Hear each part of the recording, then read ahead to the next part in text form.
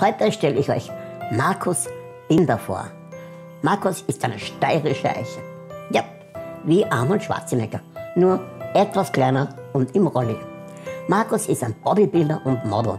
Er hat sogar schon mal bei der Mr. Styria-Wahl teilgenommen und ich glaube, er wurde sogar Dritter. Ähm, auf Instagram zeigt er eindrucksvoll, dass Limits dazu da sind, versetzt zu werden. Auf Facebook macht er mit Rollstuhl Bodybuilding Austria klar, dass er nicht alleine ist. Ich weiß zwar immer noch nicht, warum ein Sixpack besser sein soll als ein hübsches Zehnerfass.